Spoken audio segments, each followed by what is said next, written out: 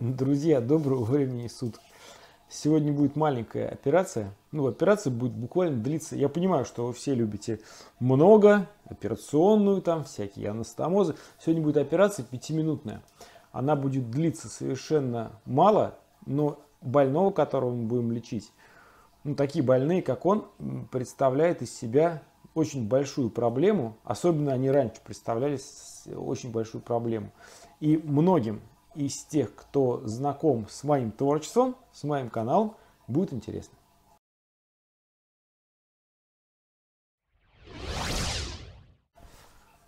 А дело было так. В один прекрасный субботний дежурный день, когда мы дежурили с доктором Розином, Розин ну, ходил-ходил там до обеда в приемное отделение, потом нейтрализовался в операционной какими-то аппендицитами своими, там, холециститами, занимался. И я своим ординаторам говорю, ребят, ну, пойдемте сейчас, пока Розин нейтрализован в операционной, мы сейчас пойдем и найдем с вами какого-нибудь, ну, простенького, хорошего больного, найдем какую-нибудь принцессу с аппендицитом, будем оперировать.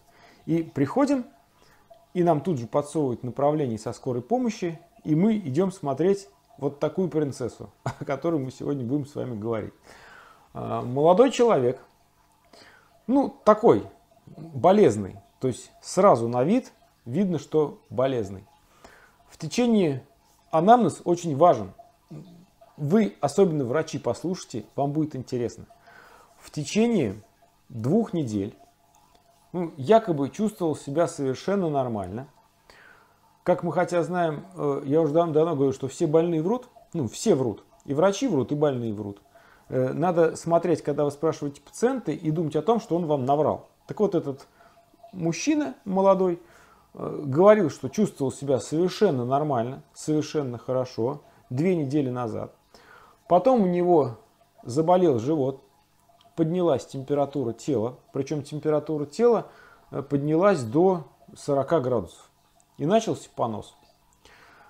Не один раз, не два, не три, а пять-шесть раз в сутки. На следующий день понос не прекращался.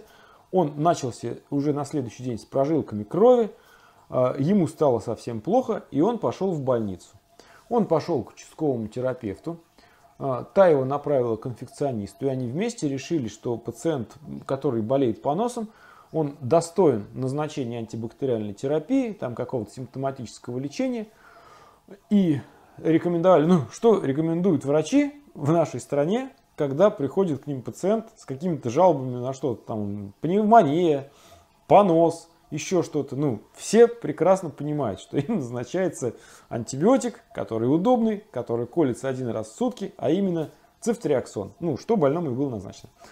А, он в течение 3-4 дней с удовольствием получал цифтриаксон и продолжал поносить на следующий прием через э, где-то 5-6 дней после начала заболевания он э, пошел еще раз к терапевту со словами «доктор, а мне что-то ничего особо не помогает». Ему назначен еще сверху амоксиклав в таблетках и отправлен он опять на амбулаторное лечение. И по скорой помощи, ну, когда ему стало совсем плохо, его привезли в дежурное хирургическое отделение, так как болел у него живот – Врачу скорой помощи его живот совершенно не понравился. Пациент продолжал точно так же поносить там по несколько раз в день, совсем жидко, перестал есть. И вот в таком печальном, обезвоженном, ну, таком дохлом состоянии он явился перед наши очи в приемном отделении, материализовался. Положили, спросили, анамнез я вам только что рассказал. Ну, внешне, скажем так, понятно, что больному хероваста болеет. То есть показания к госпитализации есть. Живот нехороший. Хирурги поймут, что такое нехороший живот. Вроде бы как не перитонит, но вот ты на него смотришь, подвздутый, напряженный, болезненный, кладем в хирургическое отделение. Ну, говорим там анализы, фигализы, УЗИ, кладем. И уже потом после его дообследования, когда повторно смотрели вместе с историей болезни в приемном отделении, ну, мы увидели, он до сих пор температурил, плюс в анализах выраженный лейкоцитоз до 30 тысяч, а, обезвоженный, сухой, с каким-то там высоким гемоглобином. А, и самое главное, что на ультразвуке была вот такая картинка, которую я вам сейчас покажу, которую вы видите на экране. Мы с вами уже говорили про врачей ультразвуковой диагностики и говорили о том, что УЗИ это операторозависимый метод, но наш доктор ультразвуковой диагностики заметил у больного вот такое образование в правой доле печени, которое вы сейчас видите на экране своего монитора. Причем, ну, как-то не особо написал он нам, э, какого размера, где это точно расположено. Поэтому мы еще раз его пересмотрели на своем, своими глазами, на своем аппарате УЗИ уже в отделении, свозили на КТ. И вот перед вами компьютерная томография данного пациента. Можете на нее полюбоваться. Вы видите, что в правой доле печени, вот в таком мы можем поиграться режимами, есть огромных размеров образования, ну и с которым нужно что-то делать. И вот сейчас мы об этом и поговорим. Что же делать с таким пациентом? Итак, условия задачи. Суббота, выходной день. Это сразу к вопросу о том, что многие скажут, причем я показывал вот этот вот снимок своим коллегам, которые занимаются компьютерной томографической диагностикой, которые сказали, ну вот тут вот как бы никто сразу не сказал, слушайте, вот это вот гнойник. Ну, потому что и на ультразвуке жидкостное образование, гнойник это жидкостное образование, это жидкость, видно как там черное такое пятно. Вот вам пример, как выглядит нормальный абсцесс печени, который картинка с интернета. Вот, вот так вот выглядит. И на КТ то же самое мы видим вот это вот образование, и диагносты говорят, что вот нам бы, э, нам бы вот как-то не нативный снимок, а как-то с контрастным усилением. А что делать, если, ну, во-первых, КТ нет вообще, это раз.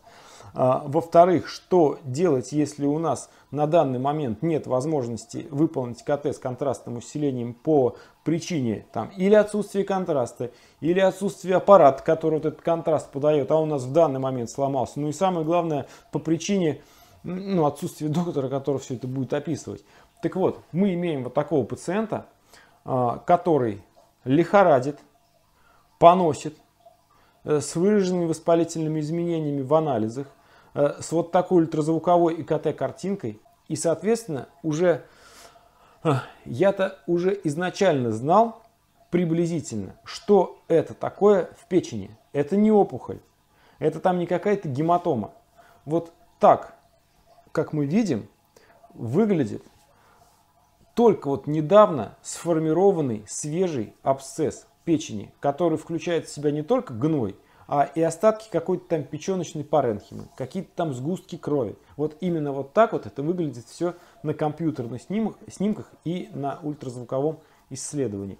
И вот такого пациента мы не можем оставить на понедельник, чтобы потом дообследовать. С таким пациентом мы должны что-то делать. А, если раньше это было проблемой, я помню раньше вот эти вот большие операции, когда не было ультразвуковой диагностики, ну вот прямо сейчас, когда такой больной поступает, мы у него это подозреваем, и нет ультразвуковой диагностики, чтобы под УЗИ выполнить какие-то мини-инвазивные вмешательства. Не было дренажей. Это были крайне тяжелые больные, которым выполнялась лапаротомия, у которых мы ковырялись вот в этой полуразваленной печени, и ну, результаты лечения были такие. Слава богу, что сейчас появилась УЗИ.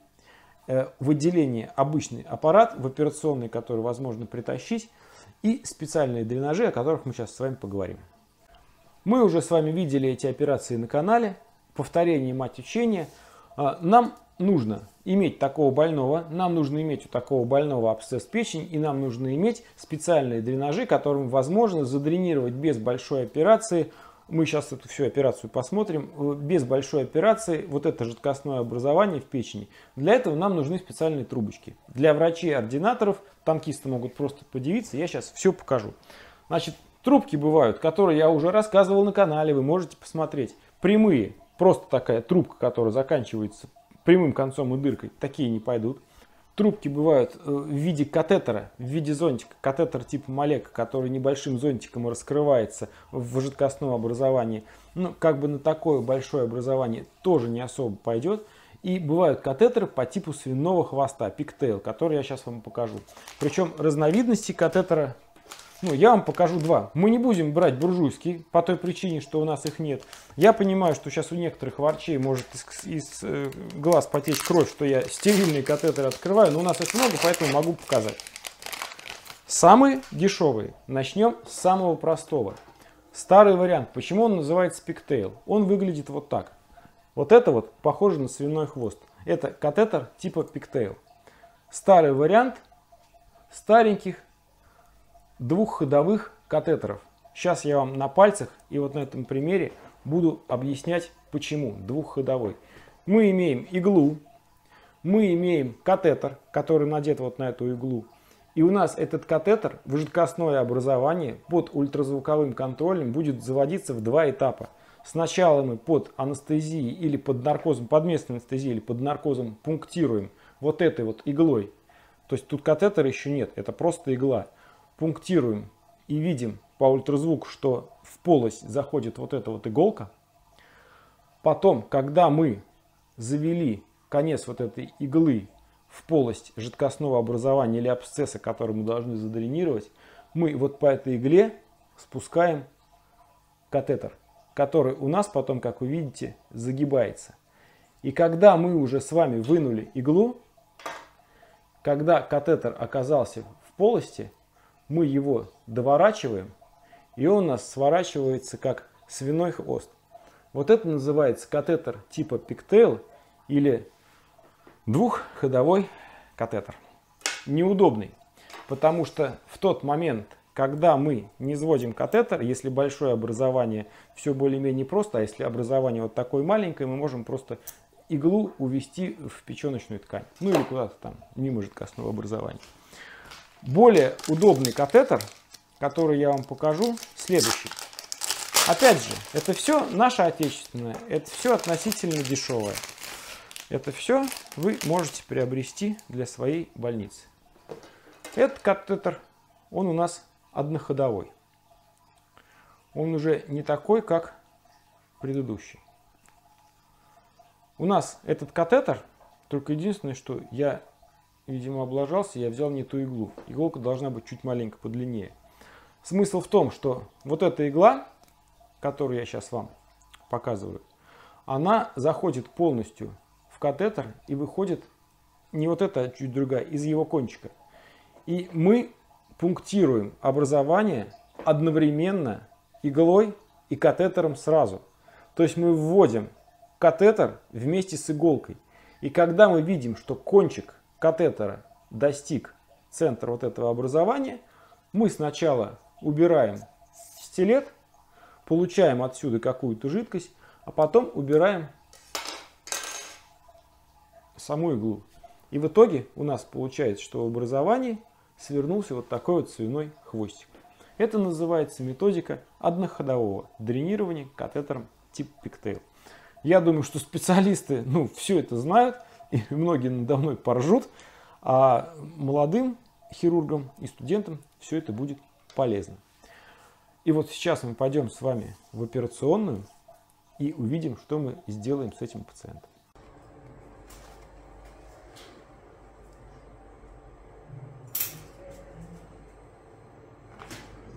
Все, замри. Вообще замри и постарайся дышать поверхностно. Не получается очень плотно. Сводится. А, Почти все уже, потерпи, потерпи.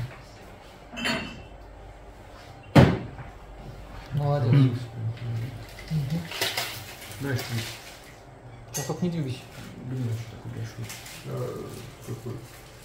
Прям положить экран. Пусть она стоит. Ну, почувствую. Блин.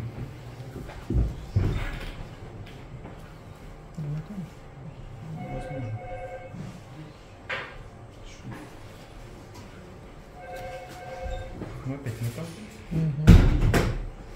А, ну это, не, не, не, с, с, с гноем.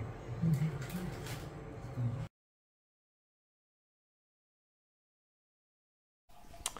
Задренировали, получили вот такое количество крови с гноем. Одномоментно там почти ну, грамм 800 содержимого. Причем, когда я в чате, а у нас есть телеграм-канал и в нем есть чат, вот по этой ссылке, которая написана и внизу в описании, вы можете посмотреть ссылочку, как туда попасть. Когда я скидывал вот этот вот случай э, в чат, многие начали говорить, а пожалуйста, давайте посев, что вы там посеяли, что за содержимое, какой там микроб. я вернусь к этому чуть позже. Что мы имеем на данный момент сразу после операции? Мы имеем одномоментно 800 мл там какого-то кровянистого гноя. Мы уже на следующий день имеем пациента, который, ну, соответственно, встает, ходит, у него нет никаких разрезов, ему можно принимать пищу. А, что мы такому пациенту, опять, может быть, я не прав.